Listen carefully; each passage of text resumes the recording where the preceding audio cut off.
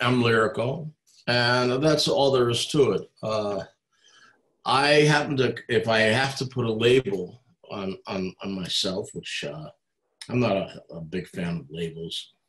Um, I, am glad that Bill mentioned, you know, the different kinds of black music. So, do I represent a particular school or kind or anything? No, I'm just Adolphus Hailstork.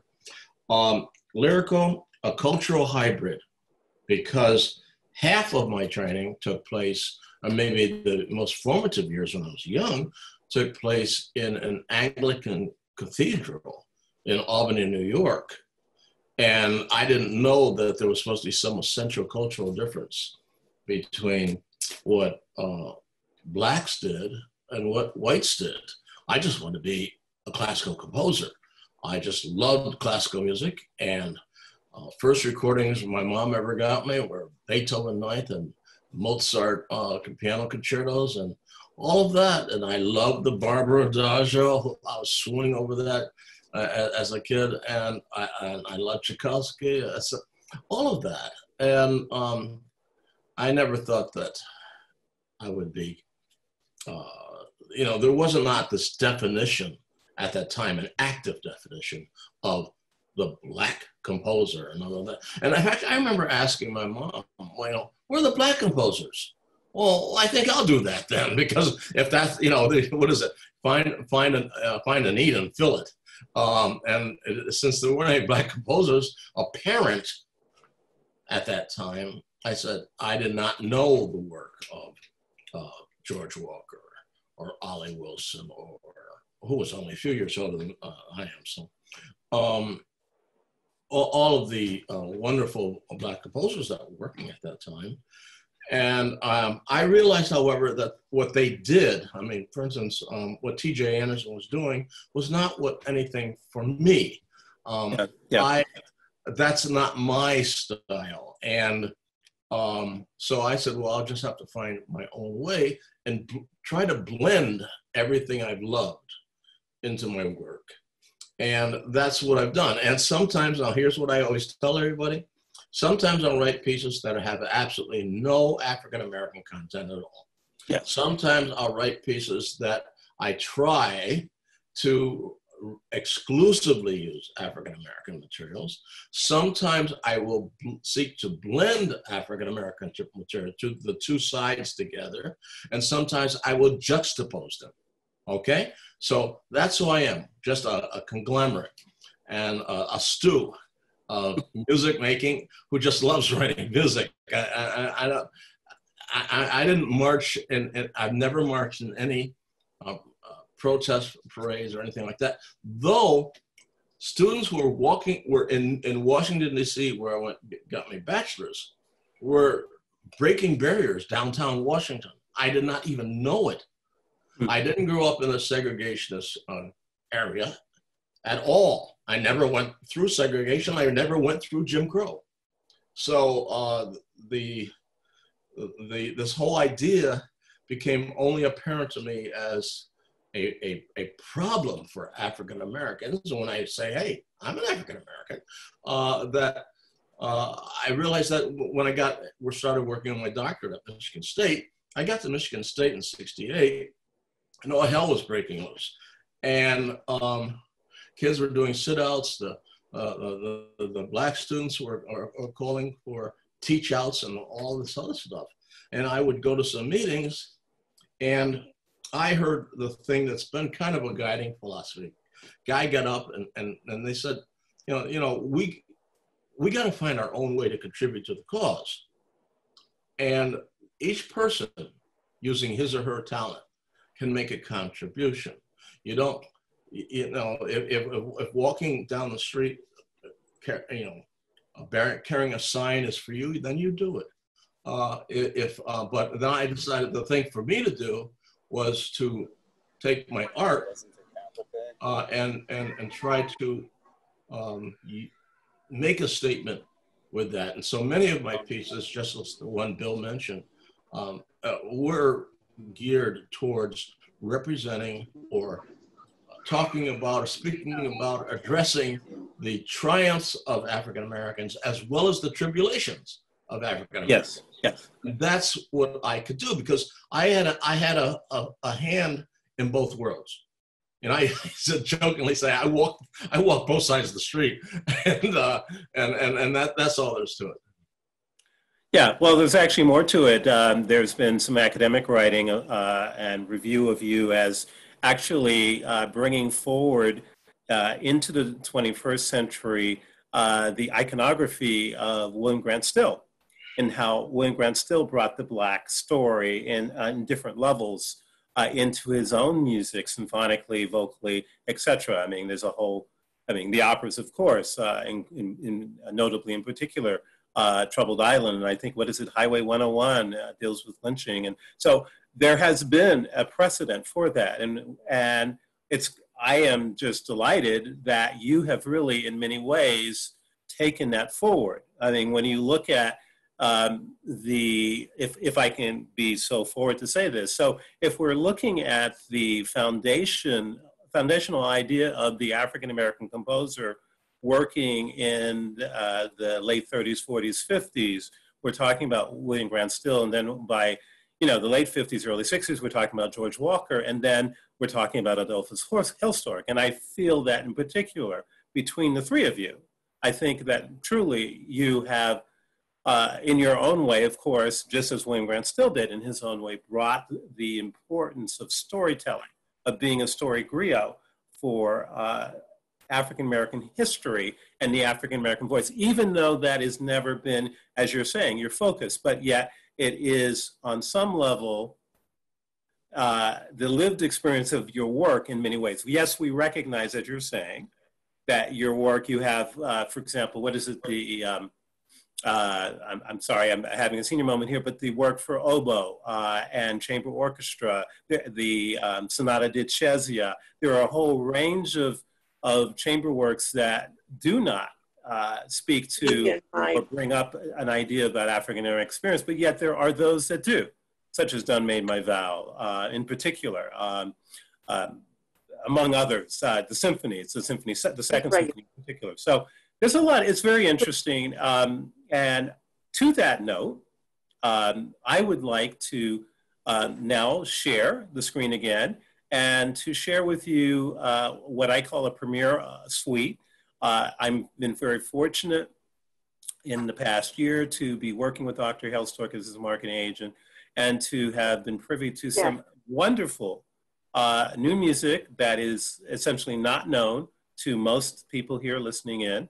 Um, and I've created essentially a suite of from three different uh, really wonderful tone poems that we have a chance to listen to. And you will hear this idea that is both uh, what George Lewis talks about in a New York Times article about a creolization, but you will also hear the unique voice of Adolphus Hailstork bringing forward, again, uh, from my point of view and others, this really iconic tradition, this the modern America, the great American symphonist tradition forward into the 20th first century, but with a particularly, and as they call it, a black, brown, and beige emphasis in, in many, especially in the works that we're going to hear. So I'm going to go uh, do the sh share screen, and uh, please enjoy. Again, if you have earbuds or or uh, headphones, I think you'll hear more in the music, and then we'll come back after uh, for more conversation after this is done.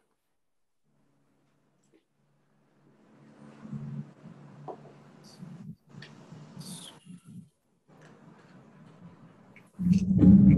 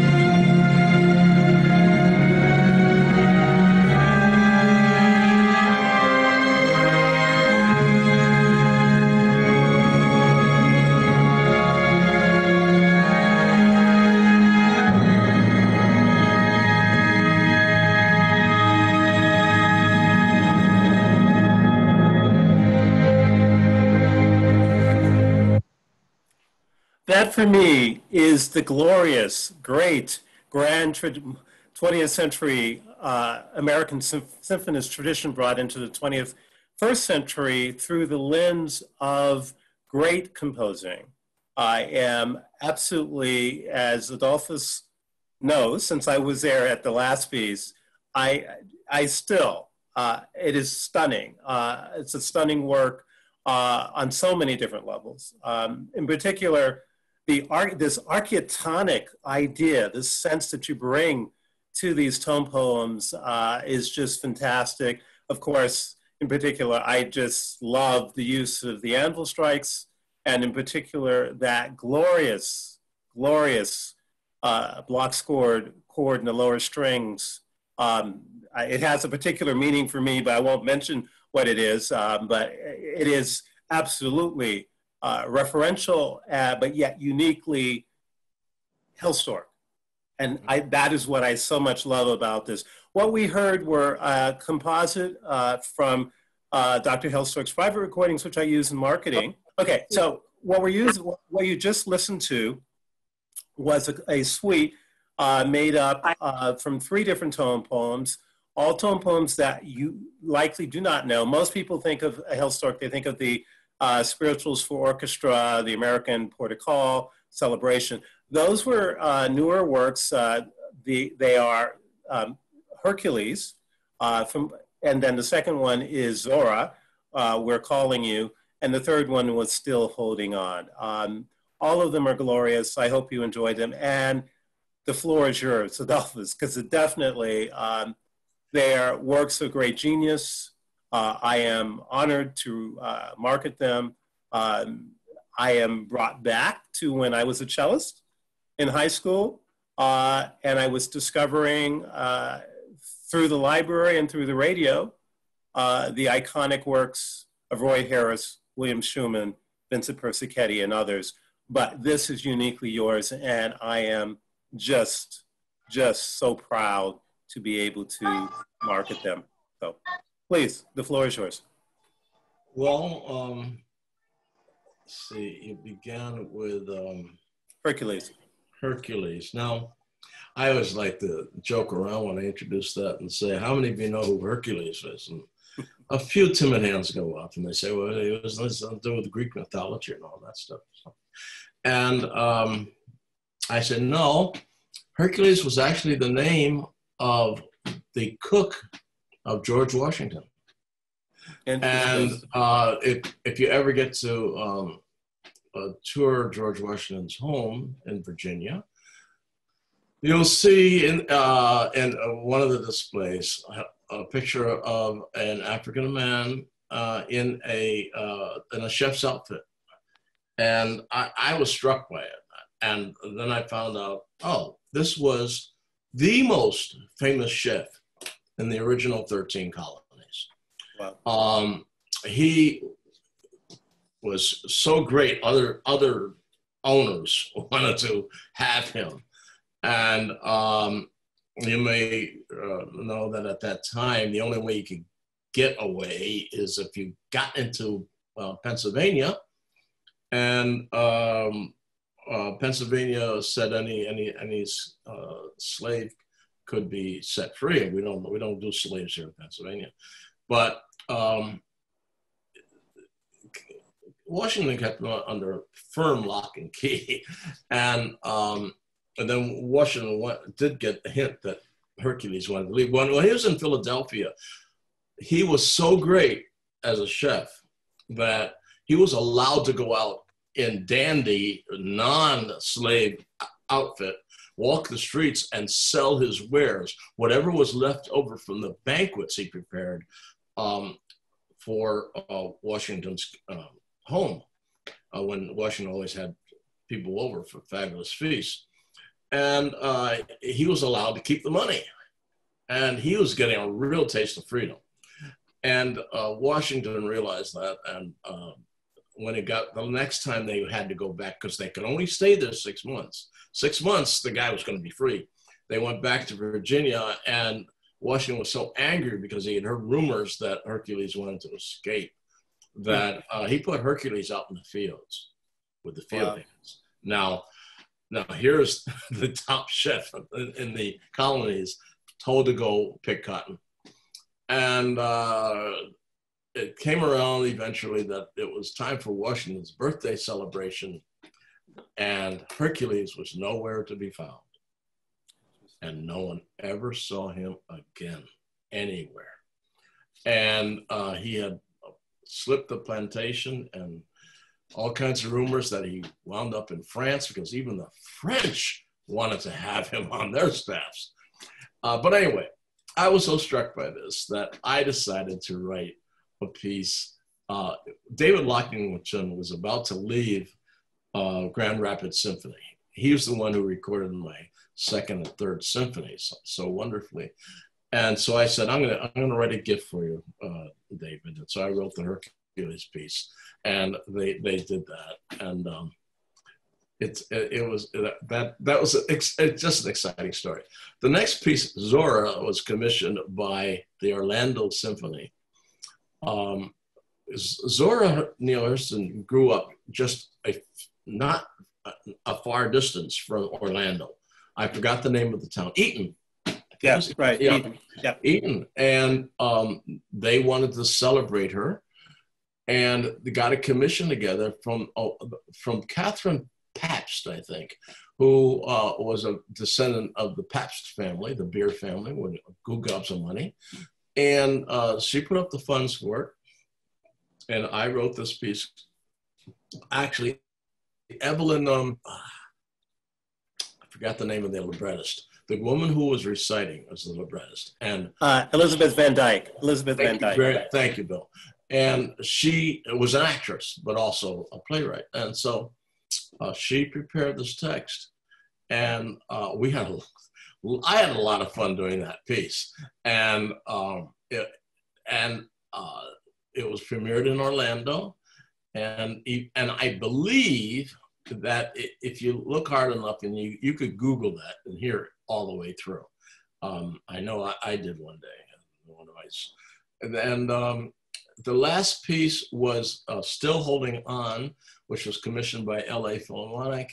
And um, that uh, turned out to, uh, I, I, I, have spared no, no, no mercy. I said, hey, this is LA. This is one of the top orchestras in the world. Uh, I just could allow myself to uh, uh, kind of be expansive. And I and they, they wanted to, they said they were saluting William Grant Still. And I took the word still and I used it double entendre and, and, still holding on with a few quotes from the Afro American Symphony by William Grant Still. Uh, uh, in that movement. And um, we didn't actually get to the very ending in the in the excerpt you heard. Um, the very on ending purpose. has a on purpose. as a short coda, which is also serving as a transition because yes. the uh, it has uh, uh, C, E flat, F uh, notes that uh, are in the timpani, and those are the exact same notes I use to start the second movement. I decided to use that as the first movement of a symphony. And uh, so I, I, I, still holding on uh, with a light touch of humor for the second movement. So you you, I had to relieve the tension. There's a lot of tension on the first movement. And then uh, while still remembering the Emanuel Nine and many others is a slow movement.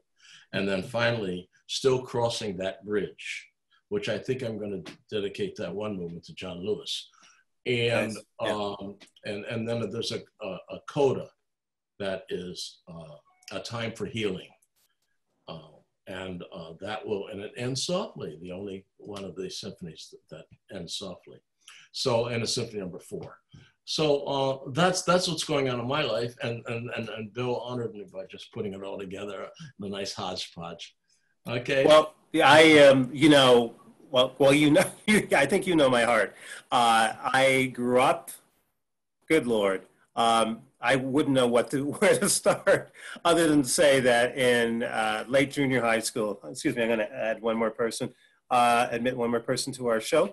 Um, uh, God, I grew up uh, in a house. I grew up in Los Angeles, but my family was from Philadelphia. My parents were devoted uh, lovers of music, classical music, but in particular music by African American performers. My mother was, before there was the term groupie, uh, she was a devotee as a teenager of Marian Anderson. My father was at Mastbaum Conservatory and uh, a, a lesser known conservator of music uh, to Curtis. He was there in 1937. He uh, got well, he uh, graduated top of his class in uh, classical flute and in jazz saxophone. He was a tenor sax. Bring forward into good lord into my youth, my growing up, just completely immersed in music, especially by high school. I mean, I was just so into this mid-century, um, when, especially when we got our stereo, our big council stereo that people, if, if those of you who are old enough to remember when Fisher and all of that, you know, it was a big deal to have in your living room, these big, these furniture piece. Good Lord, when, you know, the, the radio station for LA was uh, KDFC, uh, and, excuse me, KG, what, KFAC, excuse me, KFAC and KUSC, and I cannot tell you, you know, discovering Roy Harris, Copland, David Diamond, your, your, uh, your, your mentor, uh, plus so much more. I mean, I actually went to the library as a teenager and checked out, this is, uh, this is dating myself, checked out the records. you know, you, when you could borrow records and check them out from the library and brought them home to listen to. I was just very excited. So coming to you uh, in 2000, basically, to, you know, as early as what, 2017 at the African American Art Song uh, Alliance, the 20th anniversary one, uh, uh, at UC Irvine, um, I had already, you know, this whole wealth of, of exposure and appreciation. So it is a great honor to be able to put that together.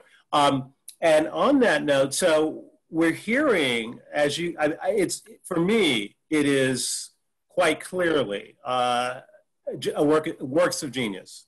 Um, uh, as marketing agent, if there was any chance um, that we could get the uh, professional master recordings of each of those works and get the permissions to release them as a DVD or CD, uh, that would be my dream for you, uh, Dr. Hailstork, because uh, they're brilliant works. Most people only think of American Port or uh, Fanfare uh, for Amer- Fair, excuse me, Fanfare on Amazing Grace or Every Time I have, Feel the Spirit some people will know of the Second Symphony in particular, uh, or American Guernica, but these three works uh, must be performed by leading symphony orchestras uh, in the country. So I want to say that to you. So I want to go on talking about the idea of, of this, if you will, uh, taking the iconography of William Grant Still, of how Still used uh, music uh, traditional uh, Western classical music, yet brought African American or Negro themes to it. Um, there is another work, in particular, a work from 2000 called Done Made My Vow, uh, which is a major work. It's a, a, major cantata. I should actually let Adolphus speak to that. We're going to listen to two excerpts that are, are blended um, by an audio a video house I use. Um, and it's, I will just uh, let Dr. Hailstork speak about them first, and I will tell you more later. Okay, uh, Done Made My Vow was actually written and oh, premiered in 1985. I see. Um, for uh, the 50th anniversary of Norfolk State University, which is an HCBU. And um, did I say that right?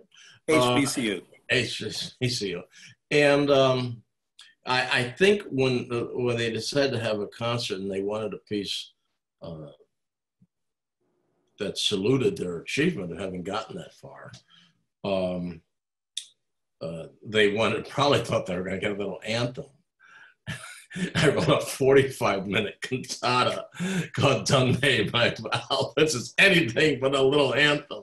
Calls for a big, big, well trained choir um, uh, uh, um, a tenor soloist, a soprano soloist, a child uh, soloist, and a narrator. And um, it's uh, there's quite a story behind it, and, and, and so anyway, we we premiered it in December of '85, the only time I conducted that thing. Um, that that well, it was well. First of all, it is a tough piece, and um, the people who did it the most after its premiere were based in Detroit, and uh, a, a, wonderful choral conductor out there named Brazeal Dennard. Yes, uh, fell in love with it, and and Detroit had a classical roots program. Right. And um, shortly after it was uh, uh, premiered uh, in in Norfolk, uh, it got in the hands of Brazeal. It's been done other places. David Lockington loved it. David, who is now at Pasadena, uh, right. loved it. Um, he David would go to the extent of forming choirs uh, that and, and training them himself. He was an English chorister coming up, and uh, so he could do that piece. Um, so uh, it it has gone. It now there's a story about the text.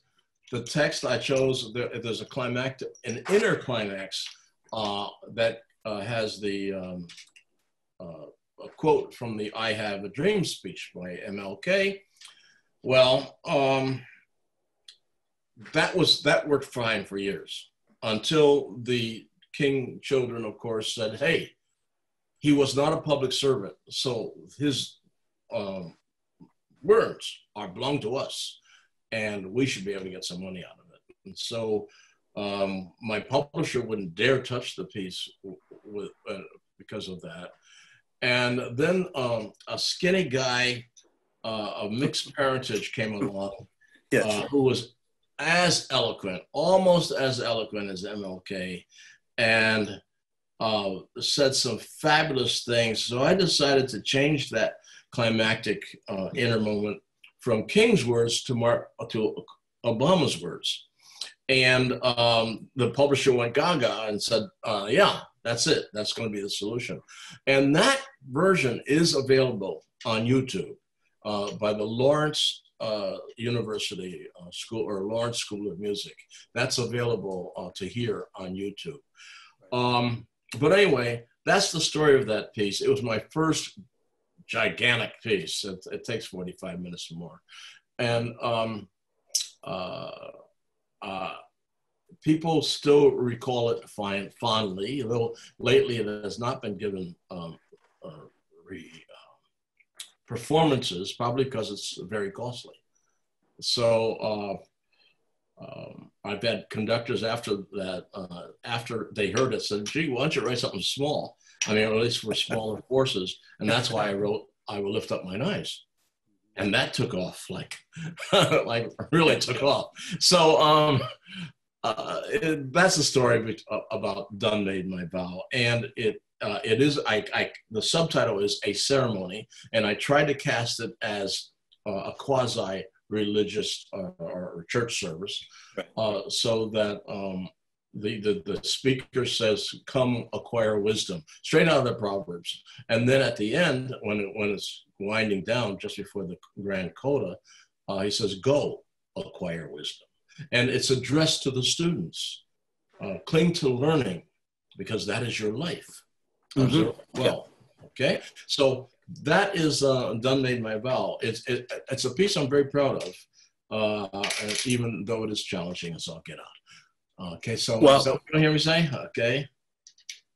Okay. Thank so, you. Oh, absolutely. We're going to listen to it, and I just wanted to comment. Um, I think I can publicly say this, uh, Dolph. Um, I spent a lot of time last fall marketing this work um, because I believed in it so strongly. It is uh, a major work, but it has a, and you'll hear this. You're going to hear both. You're going to hear an edited uh, version uh, specific to certain uh, time periods of the MLK text and then the Obama text. But the choral writing, everything about this work is so timely for a time beyond the division that we are currently experiencing. It is an extraordinary work, and you'll hear that. Um, and so I saw something different as well. And Dolph knows this. Um, I saw it in particular as a iconic tribute to two important landmark uh, civil servants who are civil right who were civil rights leaders in their own. The late Elijah Cummings, Congressman Cummings, and I, I marketed this very specifically to the Baltimore Symphony and to the National Symphony in DC, and then also for John, for Congressman John Lewis, way before uh, it was announced that he was, uh, you know, had essentially terminal cancer. Uh, and there's quite a bit of story that I will not talk about publicly about the um, challenge and, and the resistance to that by an orchestra that uh, should have embraced it immediately. And I'll leave it there. I'm being very, very diplomatic, if you will. Um, I know a little too much, if you will, when I'm doing this kind of uh, marketing work. So we're going to listen to, to, two YouTube recordings uh, that are edited. The first is actually edited by one of our uh, participants, uh, Professor Timothy Holley of North, I hope I get this right, North Carolina Central uh, State University. Did I get that right, Tim? Uh, it's North Carolina Central University in Durham. Excuse me. Sorry, thank you. Well, I knew I was getting close. Anyway, so Mr. Professor Holley has taken uh, what is actually a CD recording uh, that was a celebration of the music of Adolphus Hailstork from 2000 that it was done as a Baltimore Symphony um, special fundraising uh, set. And it features, uh, of course, the Baltimore Symphony, uh, conductor Daniel Hege, the Morgan State University Choir, led by uh, the late Dr., well, now late Dr. Nathan Carter, director. Uh, the narrator is Dr. Harold A. Carter Sr., uh, Janice Chandler, soprano, Gregory Hopkins was the tenor, Darian Caulfield, the boy soprano. Uh, and as I said again, this was done by, uh, uh, this was put together. There, he used, uh, Tim used quite a bit of interesting imagery in it, so you'll hear that. And then it goes immediately into uh, what Dr. Hailstork referenced, which is the Lawrence University uh, Choirs and Symphony Orchestra recording uh, an, an, evening of the work of Dr. Hailstork that was performed in 2018. It's under direction of Stephen Sieck, who's a conductor. And in this particular performance, it showcases uh, students that were uh, music students of of Lawrence University School of Music. And the, in particular of note is the narrator, a young black female who does a wonderful job. Uh, her name is Paris Wicker. So let us go into, uh, into uh, uh, share screen and we'll come back afterwards. Again, if you have headphones in particular, there's a difference in the sound quality and this will be the case with a couple of the tracks I'll be showcasing. So if you have earbuds or headphones, that might be helpful. Here we go.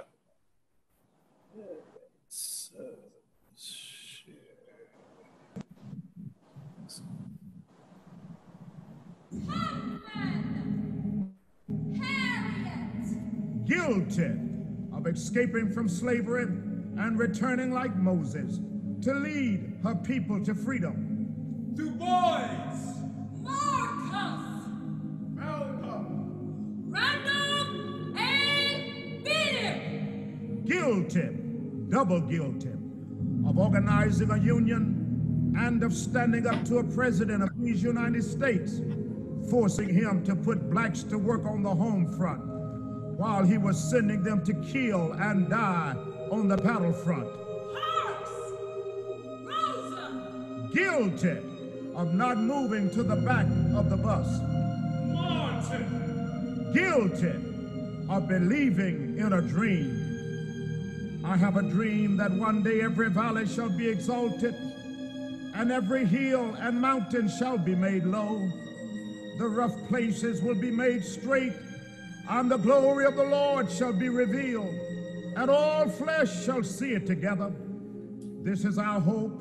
With this faith, we will be able to transform the jangling discords of our nation into a beautiful symphony of brotherhood. With this faith, we will be able to work together, to pray together, to struggle together, to go to jail together, to stand up for freedom together, knowing that we will be free one day. This will be the day when all of God's children will be able to sing with new meaning. My country, tears of thee, sweet land of liberty, of thee I sing. Land where my fathers died, land of the pilgrim's pride, from every mountainside, let freedom ring.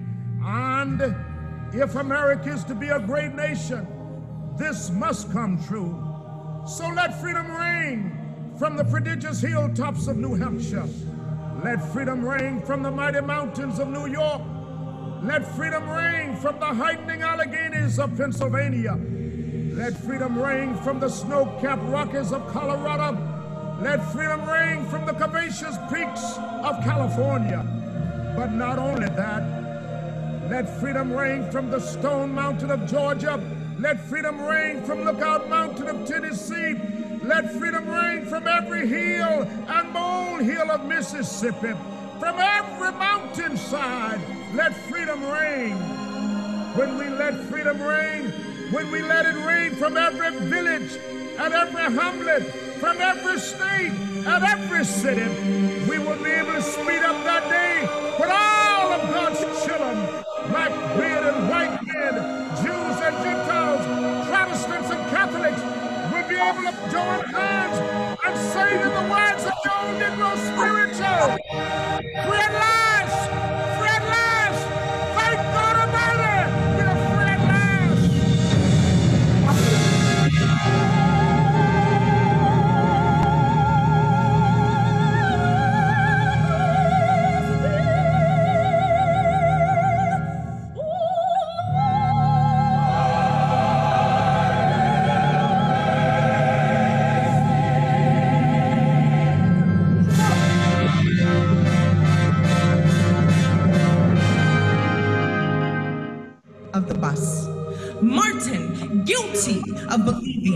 Obama, guilty of daring and having the courage and vision to become president of these United States of America.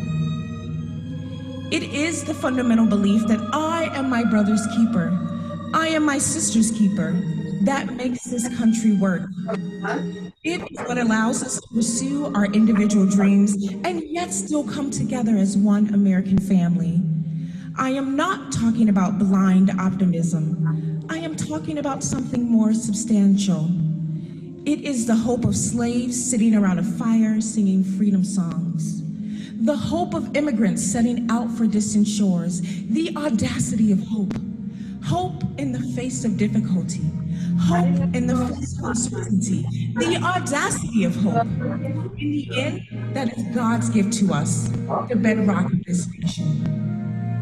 We affirm the greatness of our nation not because of the height of our skyscrapers, or the power of our military, or the size of our economy.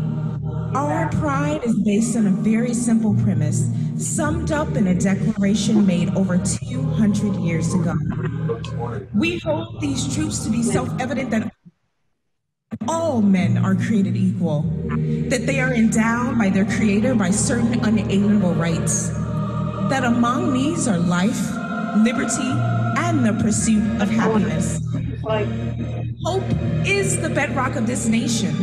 The belief that our destiny will not be written for us, but by us, by all those men and women who are not content to settle for the world as it is, who have the courage to remake the world as it should be, brick by brick, block by block. Together, ordinary people can do extraordinary things because we are not a collection of red and blue states. We are the United States of America. And in this moment, we are ready to believe again.